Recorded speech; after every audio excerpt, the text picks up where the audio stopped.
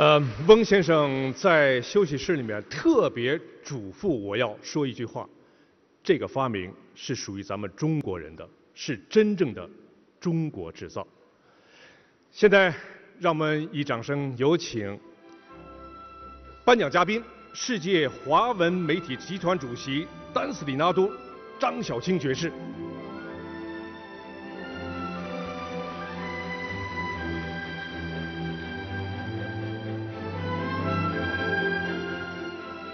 有请张爵士来发表颁奖感言。我很高兴为翁明辉先生颁奖。现代体育运动大多启用西方，以欧美制定出的游戏规则在运转，但是由于翁明辉先生发明创造的木球运动诞生在台湾，历经二十余年已走向世界，成为受到千家万户喜爱的运动方式。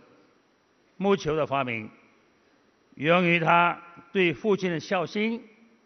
木球的推广显现出一个华人实业家的。